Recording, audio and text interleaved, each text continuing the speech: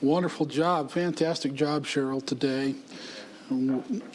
Truly a blessing to us as we worship the Lord together. Folks, it is only by His grace, amen. amen. Everything we have is by the grace of God. He is so good.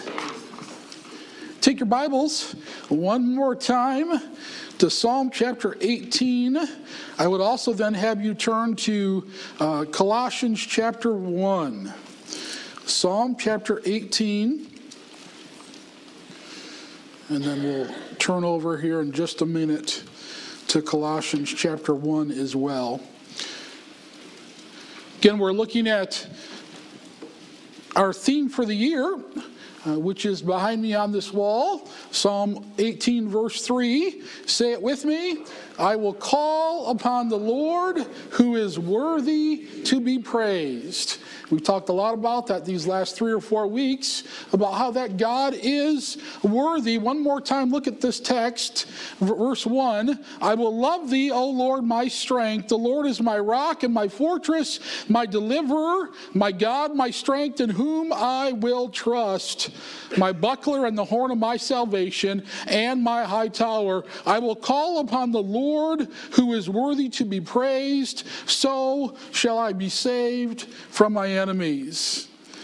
It's amazing this week again. I was uh, looking over this text and just doing another quick little word studies in my preparation again uh, for this week as well. And I looked at that word worthy again there because we're going to see it here in a different context in Colossians chapter 1, dealing with us needing to be worthy. Now, our worthiness, as we just even heard sung, is solely by the grace of God. You and I are not worthy before a holy God because of anything we have done or any abilities that we have. When you see the Word of God, and we'll talk about this in a moment, when you see the God, the Word of God mentioned how you and I should be worthy in certain areas of our life or before Him it's only because of what Jesus Christ has done in us that we are able to go before a holy God and be counted worthy. Now, in Psalm 18, as I said just a minute ago, that word worthy there, again, we give you a definition, but I want to elaborate on this a little bit more today. It really gives a description of one who is of high degree. Isn't that a great explanation of our God? Says, I will call upon the Lord who is worthy, one who is of high degree. It even can give a, a, a notation of a champion or one existent. Now, that what that existent means is one that has existed.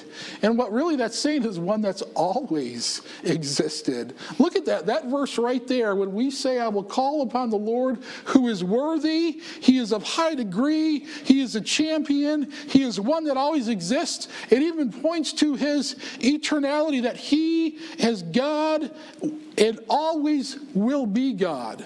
Therefore, he deserves our praise. Therefore, he deserves everything we can offer back to him.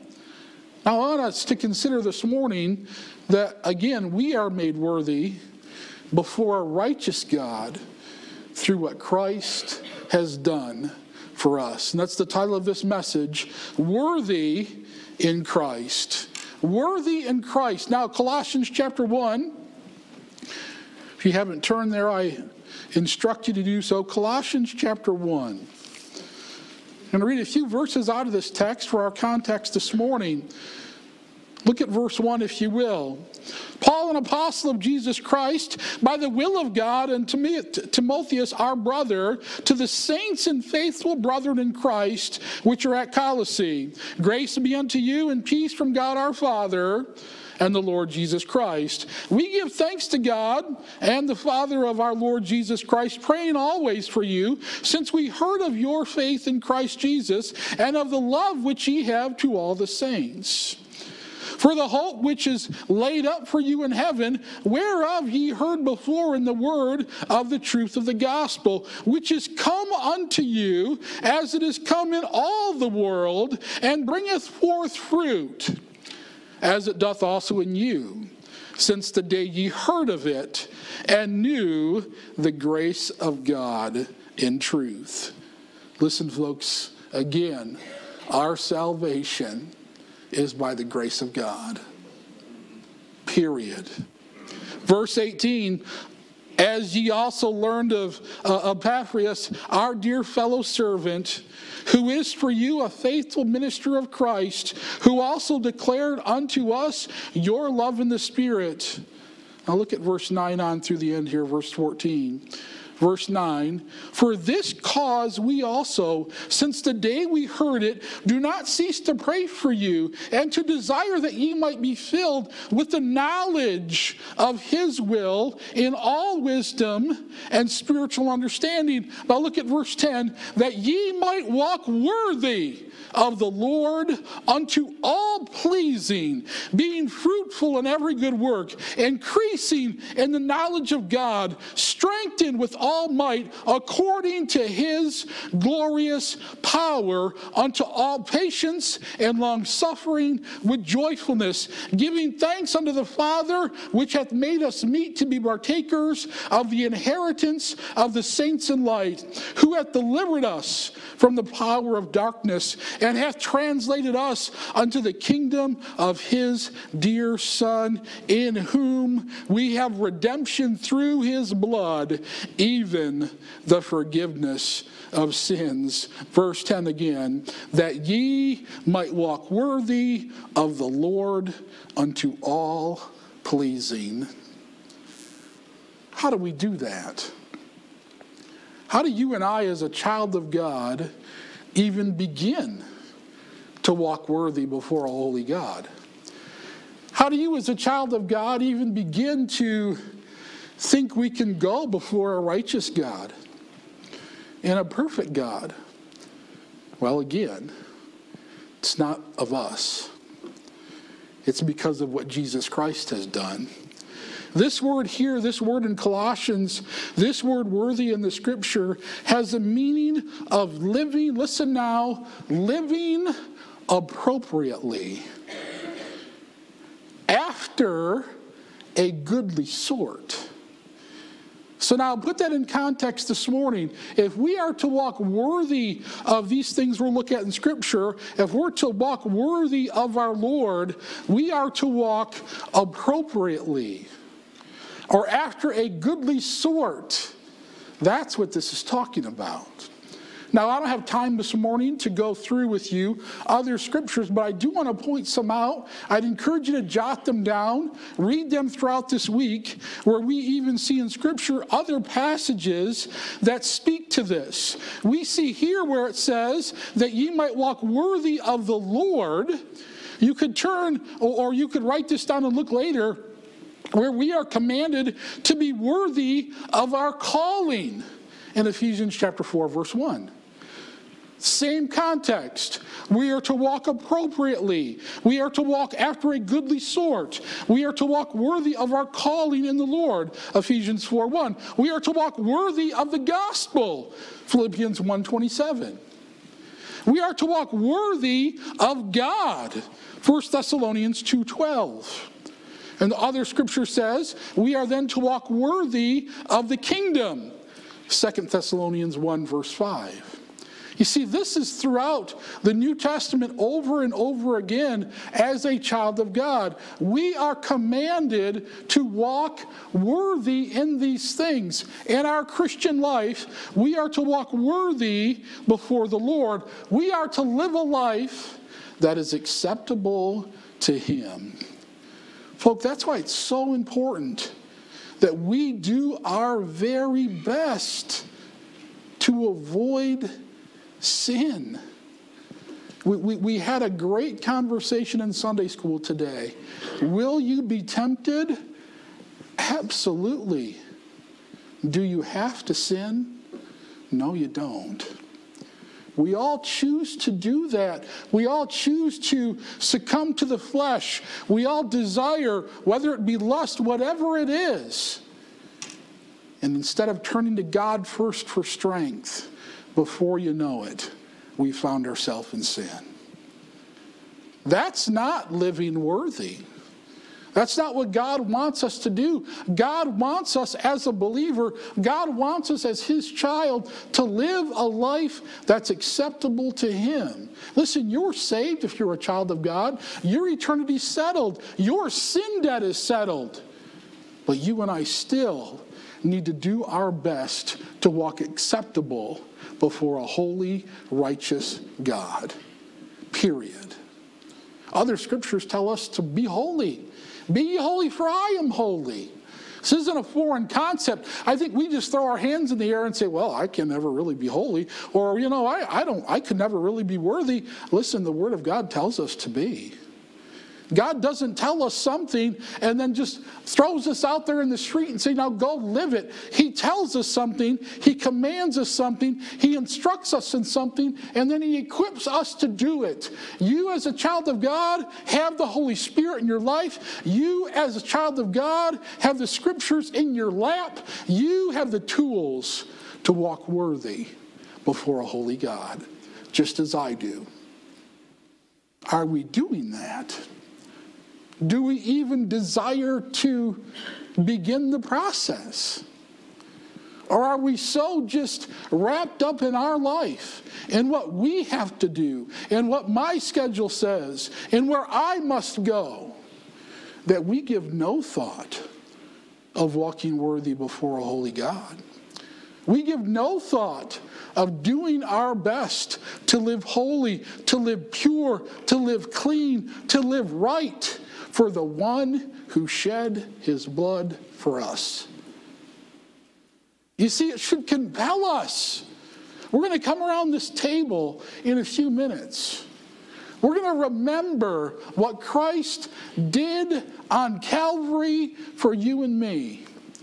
And when you think of his broken body, when you think of his beaten body, when you think of the blood that was shed for you, and for me, when you think of how he bore your sin and my sin and the weight of the sin upon his shoulders, he that knew no sin became sin for you and me.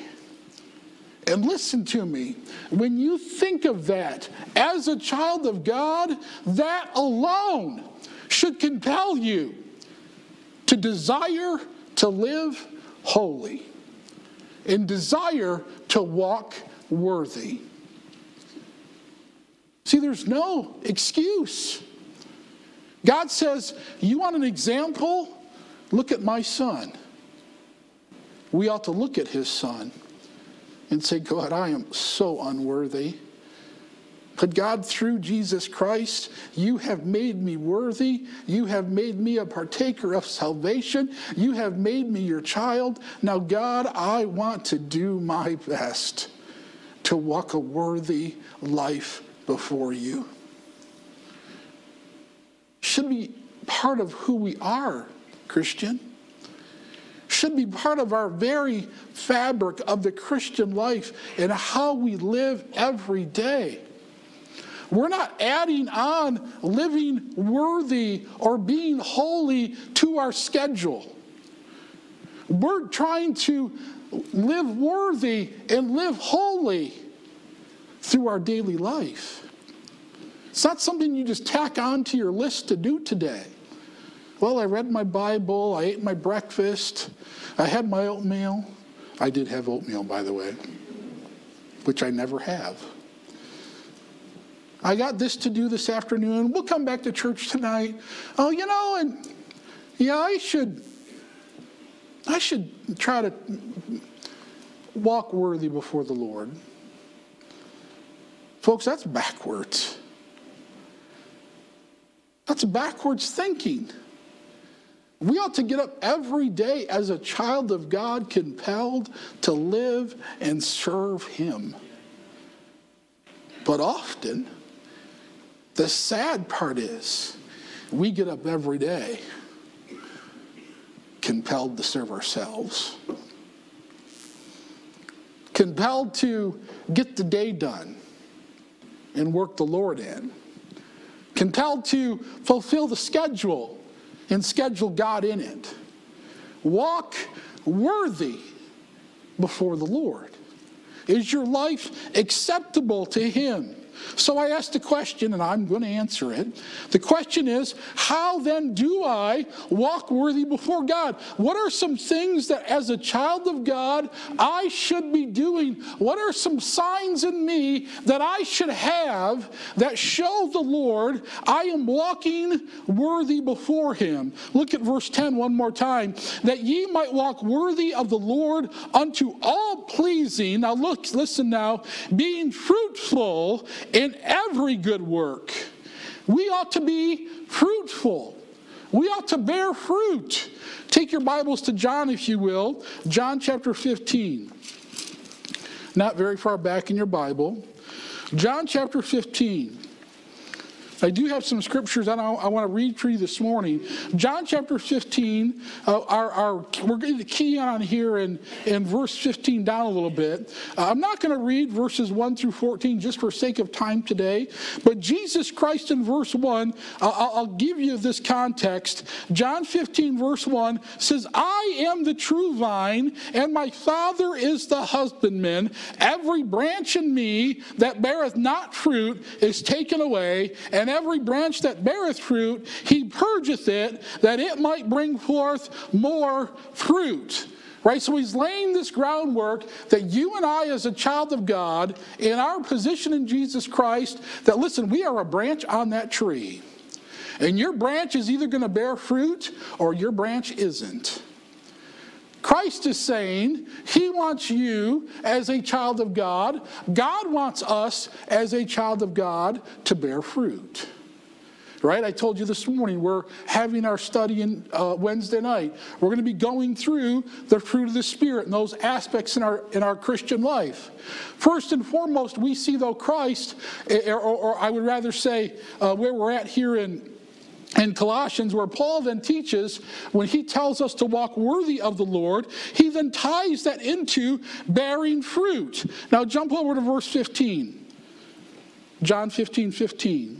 Henceforth, I call you not servants, for the servant knoweth not what his Lord doeth, but I have called you friends, for all things that I have heard of my Father I have made unknown unto you. Ye have not chosen me, but I have chosen you and ordained you that ye should go and bring forth, say it with me, fruit and that your fruit should remain, that whatsoever ye shall ask of my Father in my name, he may give it. These things I command you, that ye love one another. Are you bearing fruit? You see, Wednesday night we're laying the groundwork. We haven't got into the fruit of the Spirit yet. Uh, we're, we're laying the groundwork, and that is to say, we are looking at preparing the soil first. Your life is the soil. Your soil needs to be prepared to grow, to produce, to bear fruit. This is why, and these aren't just things we teach our children, these aren't things that as adults we should dismiss, but this is why reading the scriptures, this is why prayer, this is why church attendance, this is why these things and these three things really, in and of themselves, are so important.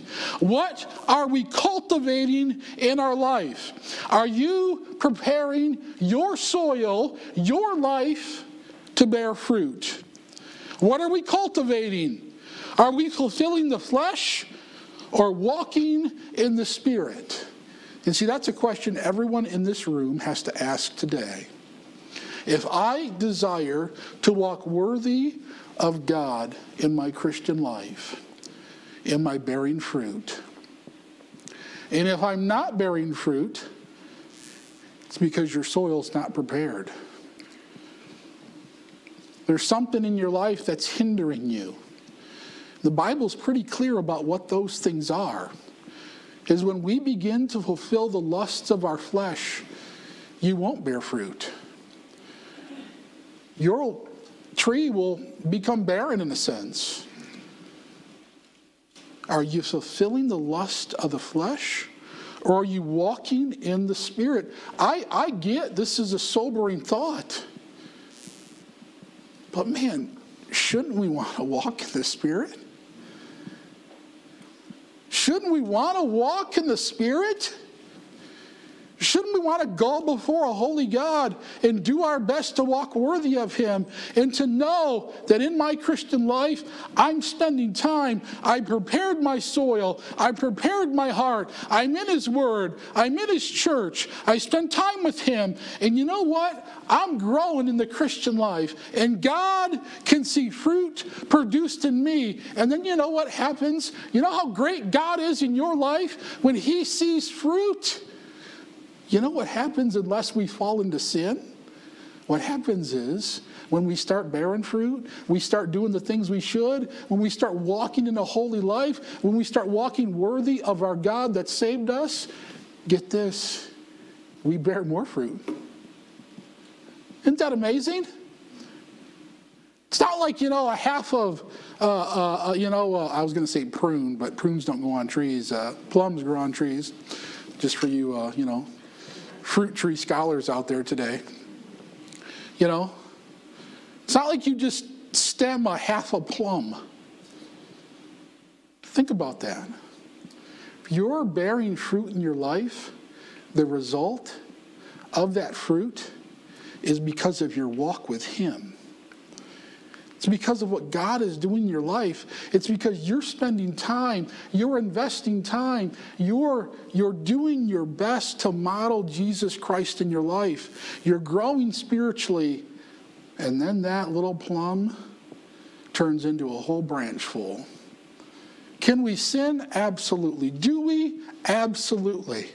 But we get forgiveness. We ask God. We go before Him. We repent and we continue to bear fruit. Sad part is, too often in Christianity, too often in independent fundamental Baptist churches, it's a lot of dead branches. We know we're saved. We know where we're going to spend eternity, but we don't invest a minute into preparing our soil. We don't invest a minute in watering our life with the Word of God, saturating it with the Word of God. Sometimes we don't spend a minute with God's people in fellowship just to sit in this room that you're doing right now, you may not know this, but this is building your spirit. Yes, fellowship we had before church and fellowship we'll have after this service ends is wonderful. That builds your spirit as well. That's a vital part of your Christian life. But you are being fed right now just being together at Community Baptist Church. The Spirit of God is working in your heart, is building you if you'll let Him. So, are you bearing fruit? Am I bearing fruit? Philippians 1 1 says, being filled with the fruits of righteousness. Look at that, which are by Jesus Christ, unto them that glory, or unto them the glory and praise of God. What's your life full of? Maybe you're struggling with this. Maybe there was a time in your life where you know what? You did you got a whole great, vibrant plum tree, and now they're all dried up prunes. You know, there's good news in that, though. There was a time you were bearing fruit, and you can do it again. And I could do it again. But don't ever come to a place in your life that you're satisfied being dried up that you're satisfied just attending. Be part of the Christian life. Walk worthy. Walk holy. Make your relationship with God mean something in your life. Listen, if you're here today, God is telling you something through His Word right now. And I guarantee you, if you're listening, because He is convicting my heart as I prepared this message. He's convicting my heart as I preach this message. Listen, you and I could always bear more fruit. We're not perfect, but you should want to. You should say, God, what do I have to do? God, I want to get back to a place where I'm bearing fruit. It's not enough just to come and hear. It's not enough just to come and sit. It's not enough just to come and be encouraged by the fellowship or the word. You and I then have to put it into action in our life. We have to daily, daily commit, spend time in this book, on our knees if you so can, or in your favorite chair. I don't care where you pray, pray. And then, boy, when you know you're going to be fed in this place, you come and be fed so you can leave and bear fruit. It's a pretty simple model, isn't it? This isn't something that's a mystery to us. This isn't something that's like a surprise. God says, here's what you do. And then he says, I'll help you. He says, I'll give you the strength. I've given you the spirit. I've given you the tools. Those days you stumble, God says, Seek me. I'll pick you up and dust you off and send you on your way to bear more fruit. God says, you know what, those times in your life where maybe you just take your eyes off me for a moment and a couple of those fruits fall off, He says, you know what, seek me, seek my face, and I will pick you up, I will dust you off, and I will send you on your way, and you go bear more fruit. He's with us every step of the way. You say, How do you know that? I just read it to you in those first couple of verses of John 15. God is the husbandman doesn't just plant the bush, plant the tree, and turn around and say, Well, I hope the weather works this month. Well, I hope that, you know, uh, Jeff Doro tree sure grows. I just flicked him in the ground. No, you know what God does? God would open up Jeff Doro's heart to the knowledge of his word, to a relationship in prayer, to fellowship with his people, so Jeff Doro could grow. I'm just picking on you, brother. He doesn't just leave us. Even goes on to say, you know, there are times he prunes us, and those prunings hurt, don't they? But it's because he loves us and he wants us to bear more fruit. What a great God we serve.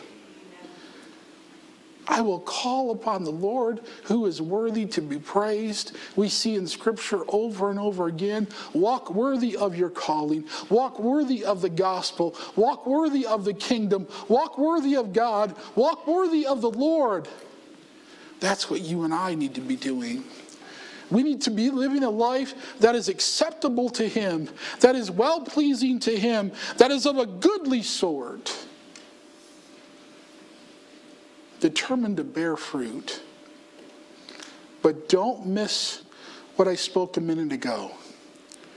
Your ground, if you will, your soil, if you will, needs to be prepared. And we don't do that just once. I can't go to the Lord today and say, God, I want to prepare my soil. I read my word, I read your word. I spent time with you. I'm feeling good. Went to church. Man, that preacher is fantastic. No, I'm teasing. but God, I'm growing. I just, today was a great day. God, I have fellowship with you. God, help me to bear fruit. You know what? God is pleased with you.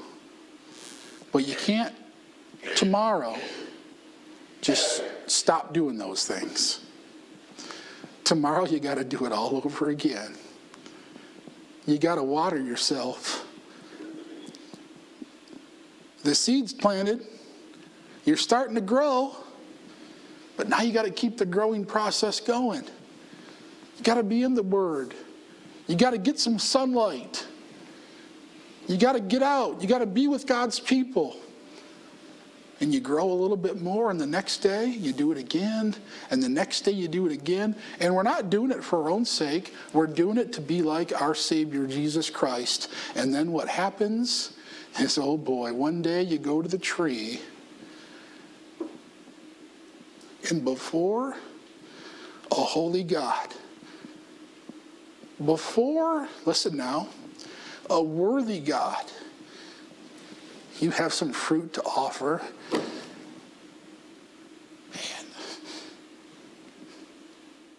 isn't that something? I don't want. I don't know about you. I want my tree to be full of fruit. Not so you can say, oh, look at Pastor Fischer, how productive his spiritual. I don't care. Sorry. I want God to look at me. I want to offer him back what he's due because of what he's done for me. And then I pray that as I bear fruit, not only is it pleasing to him, but then, man, my life is a vessel. My life is something that can be used so that others will see him in me. I didn't get very far in this message today. I don't even think we're halfway done. But I'm going to challenge you this morning. We'll finish this next week. The first aspect, the first area that you need to look at in your life to walk worthy before a holy God is as we see here in Colossians. Are we bearing fruit? Are we a branch in this tree, if you will, of God's family that is being productive? Because if you're not, He will prune you. You'll be part of his family. But what's going to happen is with that, there may be some hardships because he loves you and he wants us to bear fruit. He wants us to get back to him. Now imagine just for a minute those of us here that are members of Community Baptist Church, not to leave you out if you're not, but just for a moment, those of you that are, listen, we're, we're part of this tree. We're all on the same root system, whether you like it or not, right? Whether you like who your ancestors are, we're all in the tree. I don't care if you don't like Aunt Millie, you're in the tree with Aunt Millie, right? Just the way it is. Now imagine for a minute, though, is as this tree, every one of us, every one of us was bearing the fruit that God so desired. Think of what we could do as Community Baptist Church. You see, so don't just leave here thinking that your branch only affects your life. It does. And God's going to work in your life. He's going to convict you. He, he may bring things in your life to draw him, to draw you back to Him. Uh, whatever it may be, He may encourage you if you're bearing fruit to bear more fruit. However, you're not just a branch all by yourself. You're a branch in a whole another bigger tree than you. My desire is for all of us to bear fruit. Now, does that mean your branch is going to be full and my branch is going to be full? Probably not but let's be bearing fruit on our own different, uh, we'll say, spiritual growth levels or spiritual maturity levels. But let every one of us determine to have some fruit on our branches. Right now, if you got one, you got one old plum, that's great. That's fantastic. You're doing what God wants you to do. Keep doing it and before long you'll bear more fruit. You know right now you're solid in your faith, you're solid in your walk. You say, Pastor Fischer, I know I'm bearing fruit. You keep doing that too, and God will bear more fruit in you. But let us, let us though, never get complacent than to look at that branch and to say, hey, I think I'm doing pretty good today. Because the minute you and I have that thought, boy, I'm going to tell you right now, it doesn't take very long for a branch to die and fall off or be pruned. Guard your heart. Desire to be holy. Desire to be pure. You are tempted with sin, abstain. The devil tempts you. You're tempted with evil. You're tempted with desire, lust, whatever it may be. Guard your heart because you want to bear fruit. Folks, let's go before a holy God, a worthy God, and offer him the fruit that we should be bearing. Next week, we'll finish this message, we'll look at some other aspects, how we also can walk worthy before a holy God. I'll close with this thought. We are going to have our communion service here in just a minute. I'd encourage you, even through this time, we're going to have an invitation as well. But even as we take communion today, and we truly remember what Christ did for us, what that means to us and for us today, what that entails for our eternity. Think about this challenge today. Think about this message. As you consider that body of Christ, as you consider that precious shed blood of Christ and how precious that should mean to you as a child of God, I think we'd be amiss if we didn't at least contemplate what kind of fruit we're growing. Because it's, it's about Him, it's about what He has done. And what's neat it doesn't just stop there. It's about what he will continue to do and then what he is going to do. And listen, my friend, he is coming back. And when he does, I want my branch to be full. I pray you do as well. Lord, we love you so much today. God, in the time you've given us, Lord, not looking at a lot of scripture, but God truly being challenged by your word this morning. Lord, I pray that as we have really examined your holiness these last few weeks, God, and then today and next week, Lord willing, we will continue to look at scriptures that point how we ought to be holy for you, before you. Not of us, but because of Christ and his sacrifice. God, as we desire to be holy, we look this morning how we should desire to bear fruit. And God, desire just isn't enough. God, we ought to put some things in practice in place in our life we know what they are. They're simple things. We just have to be faithful and dedicated to do them. God, you've given us your spirit. You've given us your word. We can have fellowship with you any moment of the day. And then, God, we can come here and be fed from the word of God. We're blessed to have a church like this. We're blessed to know that what's going to be preached from this pulpit is going to be true. It will feed us. God, help these that are here today, myself included, to want to bear fruit. Not for the applause of men, not for pride's sake, but God, because you are holy and you are worthy. And God, we want to offer you back a part of us that you've made available for us to offer. God, help us to bear fruit. Help us as we look next week at even some more tools, how we can walk worthy before you.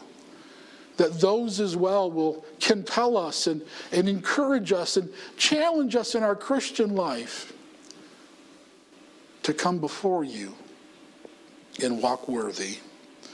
Bless our invitation, we pray in Jesus' name. Amen. With head bowed and eyes closed this morning, no one looking around for just a minute. As the piano begins to softly play, listen, I want to stay just a moment here today. You can only be worthy because of Christ. As I said, it's not of what I've done, it's not of what you've done, it's through Him. And you must be a child of God to be worthy before a holy God. We didn't spend a lot of time this morning, but I do want to give you an opportunity. If you never received Christ as your Savior, if maybe today you're you, you know you're not a child of God, there's never been a time where you, in essence, went before the Lord and repented of your sins or believed the gospel of Christ and asked Christ to be the Savior of your life. You say, I know I've never done that. Listen, we want you to settle that today. In a minute, we're going to have you come if you're able, if you would so desire, to this altar. We'll pray with you. We'll take the Word of God and show you how you can be saved and settle that today. And then, here, listen to this, and then you can walk worthy before a holy God because you become His child. We'll give you that opportunity in just a moment.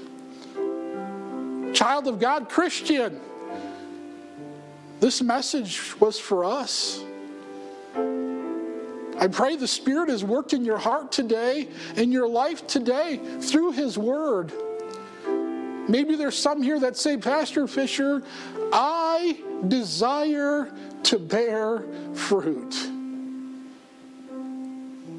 Maybe there's an area in your life that you just need to sure up. Maybe there's some more time you need to invest with God in your relationship. Anybody here that would say, just pray for me? Because I do want to bear fruit. I do want to, I see your hands, yes. I do want, I see your hands. I do want to commit. Absolutely, I see hands all over. I want to commit. Maybe I'm not in the Word like I should. Maybe I'm not in prayer like I should. Maybe I'm not with God's people and, and around the preaching of God's Word like I should. But I want to commit to be there more. Yes, I see your hand. Anyone else that just say, pray for me. I want to have something to offer God with my fruit. Yes, I see your hand. Yes, I see your hand. Folks, God's working. Let Him work in your life too. Make a decision. You may not have raised your hand this morning. Listen, I understand. You can still make a decision in your seat today to bear more fruit. I would, however, give you an opportunity. As we said a moment ago, we're going to sing a verse invitation and we're going to give you an opportunity to come here to this altar. Just spend time with the Lord.